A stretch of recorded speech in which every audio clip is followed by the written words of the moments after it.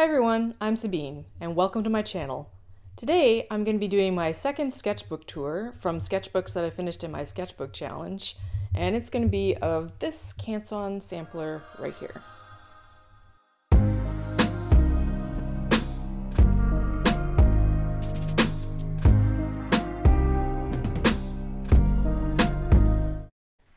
Hello everyone and welcome back. This is my second sketchbook tour.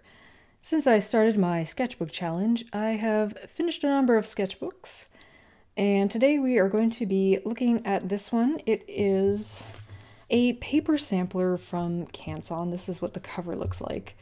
I actually tried to find this on the internet and I can't. It has a price on the back, but they're just like samples that I guess Canson representatives hand out, and I was lucky enough to get one. This is not a very long sketchbook. It's 36 pages or at least 36 pages of actual paper that I can draw on. There's a bunch of stuff in the middle. And I thought this would be kind of a fun sketchbook to do because it has suggestions in it for the different mediums that you can use on the different papers. And if you're wondering why this page I have on the front cover right now, it's because I had to cut it out of the book, unfortunately. Uh, you'll see when we get to the marker paper why I had to cut it out. I was afraid that this drawing was going to get ruined, and it's one of my favorite things from it, honestly. So, yeah, let's let's start off on a good note. I will say though that I initially did not want to do a sketchbook tour of this sketchbook. When I first started out doing it, I had this in it, which was nice, but then I started doing a bunch of experiments and they did not turn out. But then I did do more work in it and I did have some things that I really liked. So I thought, you know what, I do need to show this sketchbook because people do need to see a sketchbook that has nice things in it as well as terrible things in it that didn't work out. Because that's what sketchbooks are for and that's what they're like in real life. So as we're going through, I'll explain what I like and what I don't like and let's get started with this sketchbook. This is kind of what the sketchbook looks like on the inside. It has a thing that says this is what the paper is, and then when you flip it over, this is the paper, and it has suggestions in it for the various medium that you can use. And I thought that was really cool. Like, I'm going to take this more as an experiment to use things that I don't normally use. This is the sketch paper. It's quite thin. I would prefer a much heavier paper to draw on, so I didn't really work too hard on these drawings. Uh, the first one I decided to do was in pen.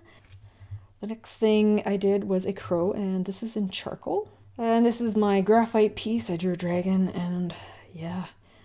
Oh, I used to draw dragons all the time, like when I was in high school and a lot younger.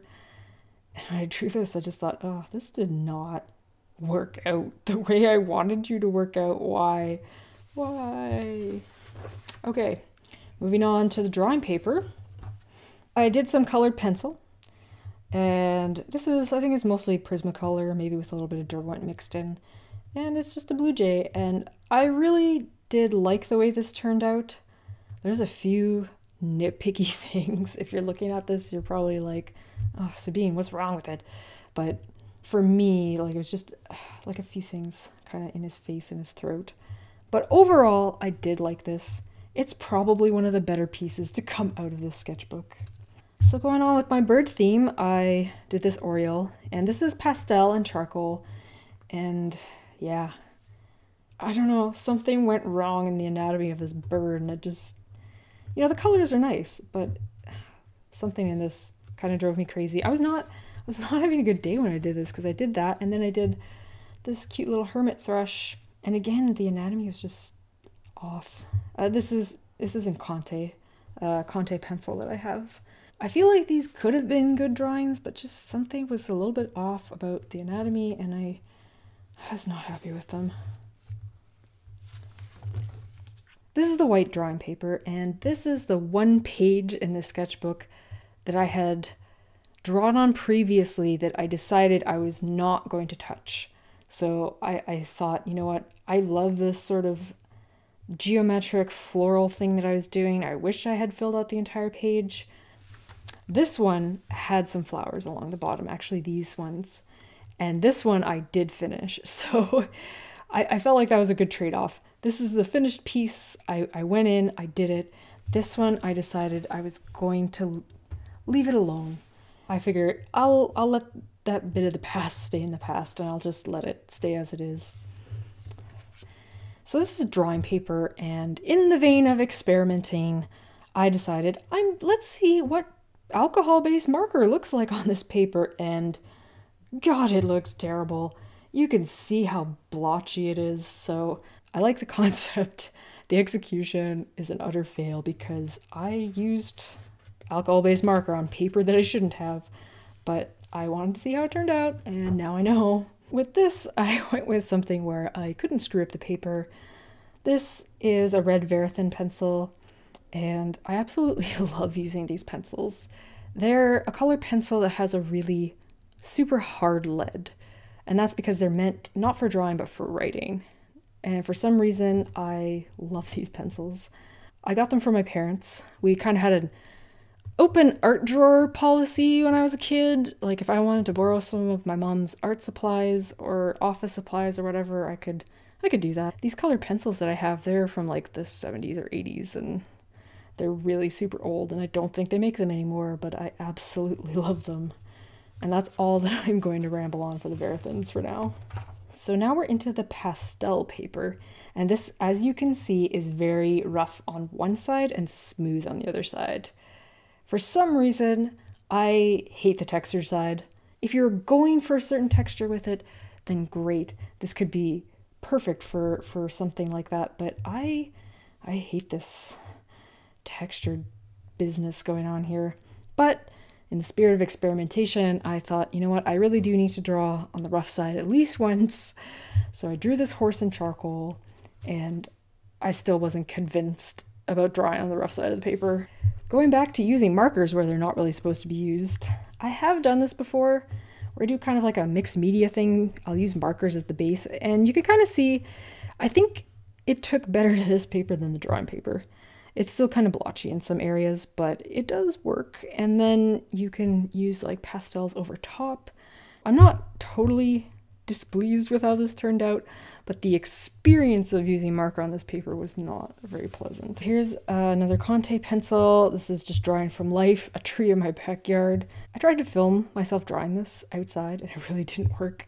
I had to think, what can I draw on blue paper? And I thought, oh, blue flowers? Cornflowers, yeah, cornflowers are blue. All right, let's draw some cornflowers. This is done in pastel. It's okay. It's, yeah, not that great. This is actually one of my favorite pieces from the sketchbook. I love the way this turned out. I have posted this on social media already because I just fell in love with it. This was the point where I felt like, yes, I have I understand gouache now. if you see my other sketchbook tour and throughout the rest of this sketchbook, you will see more gouache as we get to the thicker papers near the end and you will see some that are just failed experiments. So when I did this, I thought, yes, this worked out the way I wanted it to work out. So I was really happy just because of that. So these are ink washes, and this was kind of going back to um, I wanted to use some ink for Inktober, so I thought, yeah, let's let's play around with ink and see what we can get. You know, this is white ink, obviously, and I did that on the blue paper to see what it looked like on colored paper. And then just painting, I went over these several times with greens and blues that I have, and it I kind of like how it turned out. I enjoyed the process. I learned a lot about ink in the process, kind of about how to layer it and how it stays on the paper. So this was a good experiment. It's nothing fancy, but I like it. This is something that I am actually really happy with. This is a mage character of mine.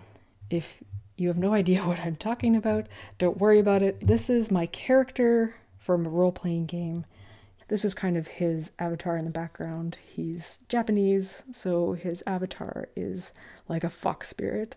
I was really happy with how this turned out, even though the markers died on me halfway through the process. As you can see, I was testing marker on this paper. Some of the marker worked really nicely, and some of them just started to run out, but I kind of like the effect. I was not disappointed with it at all. I liked how it turned out. Here we have some Drawloween. I hope I'm not getting too far ahead of myself. It's day eight, so you guys have probably seen this one by now. Uh, the illustration paper was, it was quite nice to work on. It's a little bit thicker, so... And this is gouache. this is me experimenting with my gouache, and this is just the straight ultramarine blue that I had. I don't think I had actually applied it straight to the paper. I had been using it to mix other colors at this point. I tried just seeing what it was like plain on the paper. The same thing with the yellow, and this is what I got.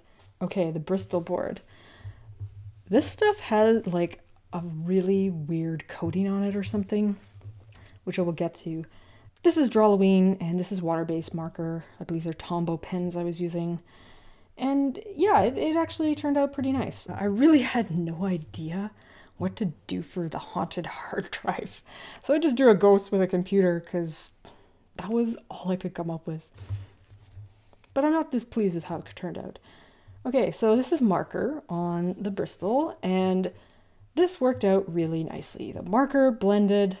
It kind of looks blotchy here because some of my markers are old and crappy, but you know, the face you can see is nicely blended, and I put some colored pencils on top, so it, it turned out really nice. This is one of my better pieces in this book, something I'm actually happy with how it looks. So this is kind of where I ran into problems with this weird texture on this paper. Now I don't know if you can quite see this, but like this is gouache and there were places where it just it peeled right off of the paper. When I put down the first layers, they didn't want to stick to the paper. It was a really bizarre experience. And it's too bad because I like this painting. I liked where it was going. I liked how it was turning out. This is a Fox character I've been working on for a little while now. I've, I've done some other concept sketches of her. So this was me trying to develop that idea. And I wish I could have taken it further, but I just kept painting on this and it just wasn't taking the gouache the way I wanted to. So I said, okay, I'm gonna cut my losses and end it here because I don't think this is working and I think I'm just gonna waste my paint if I keep keep working with it. So I didn't get to finish it and I'm kind of disappointed with that. The marker paper. That's what my garden drawing was on and it's marker paper. You should be able to use markers on marker paper, right? Let's start with the water-based markers, my, my Tombow pens. Now I don't know if you can quite see it because it has flattened out since, but when this paper got wet, it just got really, really ripply. Like it warped like crazy. And I was I was actually afraid that it was going to warp the paper that was in front of it, which was the garden drawing. So I ripped it out of the sketchbook. Okay, so uh, water-based markers are a big no-no uh, for the marker paper. How do alcohol-based markers fare on the marker paper? Yeah. are you looking at this and going, what the hell is this? I tried drawing something really basic, really simple. I was like, I'm just gonna draw an apple and try and like blend out the colors in the apple. There's zero blending going on, and believe me, I tried. I have no, no idea why this paper does not blend at all. Okay, like let's go back to the Bristol paper for a second. Like there's there's two different colors here in this face. Can you even tell? No, because it blended. This? Oh my god. Oh. And you know i thought am i crazy? Like is this did i do something wrong? Is this not working? I have no idea. And it's funny because the next stuff is vellum. So i kind of tried again. Oh hang on. I have to get like a piece of paper. This is alcohol based marker on vellum. And yeah it's totally weird but like even here you could see how it sits on top of the paper and i was able to use the same colors to blend out this apple and this is water-based marker and it you know it kind of worked fine. It was so weird that all, all these other papers took marker and the marker paper did not. Then i thought let's try some gouache on vellum because going with the theme of experimentation as you can tell and it actually worked okay for the flowers but once i got into the washes so putting water on the vellum did not work very well and that was okay this was an experiment. I really wasn't sure what to draw on the vellum anyway. It's really good for ink and graphite, but I, I was I wanted to paint. I did do some graphite on the vellum and as you can see it looks okay. It looks it looks perfectly fine. It's a good surface to draw on with pencil. It's just see-through. so I, I feel like vellum has special uses and unless you really want it for one of those special uses like there's kind of no purpose to it. I don't know why it was included in this book, but I had to find things to put on the vellum. The next paper is black paper, their Ingres paper. As you can see, I started off with some white pastel. I thought, yeah, this is to be good, a good use for this paper. And I don't know if you could quite see this, but there's kind of this white blotchiness around the rabbit, and that's from the fixative. I thought the fixative would be clear, and it, it works totally fine on white or cream color paper, but as soon as you use it on a dark paper or a colored paper, you do see little dots, and that's just something to keep in mind. Little warning about fixative. If you're going to use it don't work so well on dark paper.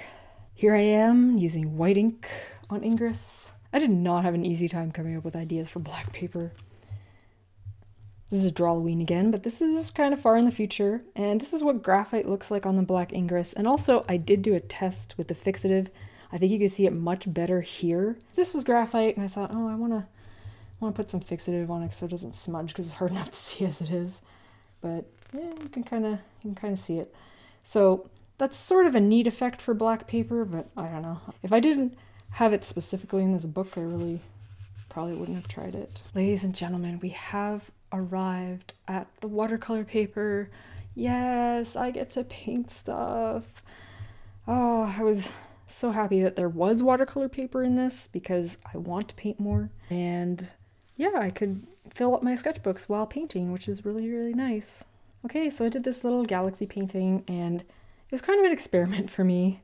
This was actually the second galaxy painting I did. I kind of looked up some tutorials online because the first one, you'll see when we get to the mixed media paper, it it did not turn out the way I wanted. This turned out much nicer. Testing ink on watercolor paper. These are my ink rabbits, and you will have seen this in one of my videos. It's my sketchbook challenge follow-up where I talk about the pros and cons of doing a challenge. You get to see me actually use the ink washes to paint in these rabbits. Painting with ink is very different from painting with anything else that I've ever painted with because it's very permanent. Uh, so that was interesting. If, if you're curious about ink washes, then watch that video because it's super interesting. It was a neat experiment for me. This is gouache. And I was trying to lay down some really light washes. I actually kind of like how the water looks. And then I tried to add a windsurfer because I was learning to windsurf this summer and it was on my brain. And I didn't use any reference, which was a bad idea. and I just produced this piece of garbage. I, I actually tried starting to fix it and I, I felt like every time I tried to fix it, I made it worse. So I gave up on it. I said, no, it is not worth my time and effort to try and fix this. I honestly thought about painting over it, but then I had that thought that maybe this is a good thing to show people because it shows that thought process where things don't work out.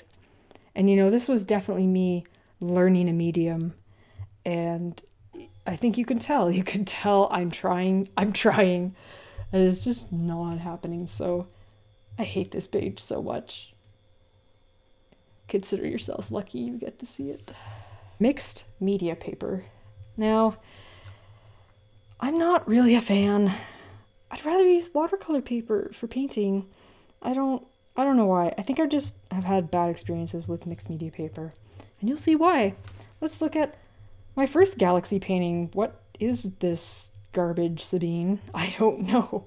I did this after I did my other sky painting in my red travelogue sketchbook, which you could see in my video for ideas for first pages. And that turned out really nice. It was it was beautiful. I had this sort of magenta color on the bottom and, uh, you know, moving up into blue and indigo at the top. And so I tried to recreate that here and oh, it just. I want to blame the paper, but I have to blame myself too because I really had no idea what I was doing. I did try to glaze over this to fix it. It was not working. Oh, I hate looking at it because it just reminds me of failure.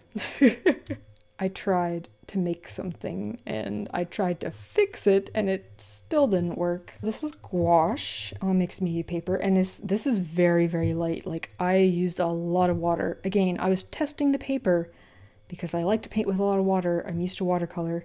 But you can see in the black, like you can see the backgrounds, right? So the paper is not super absorbent. It probably would be just fine if I just used like straight layers of gouache and didn't go for washes or anything like that. It probably would have been fine. It's not it's not super bad. Like the paper didn't warp horribly, but it's also not super great. I don't hate how this turned out though. I actually think it's kind of cute and I kind of like it, but I just wish it was on different paper. So this is the last drawing in this book and it is ink actually on mixed media paper. I had really bright colors and I thought, oh, well, the parrot would be a perfect thing to paint with these vibrant colors. So it, it actually worked out pretty well. I'm fairly pleased with how this turned out, considering that I had no clue what I was doing with ink and I learned a lot by doing this. I learned a lot about gouache and ink in this sketchbook, so even though some of the pages look like disasters, some of them look great, and I also learned a ton about different kinds of papers and which ones are suitable for which media because I ended up pushing the envelope on this. I tested some things that I knew wouldn't necessarily work out, and sometimes it actually worked out okay, but most of the time, yeah, it it just it would have been better to use a different paper. But honestly, now that I have gone through this sketchbook with you, I think I'm happier with it now than I was when I finished it. When I finished it, I thought, oh, this this isn't what I wanted it to be. You know, I wish I had done more. I wish I had maybe used the backs of some of the pages. Uh, that was something I had decided ahead of time that I was only going to use one side of the paper, especially because some of the paper's thinner.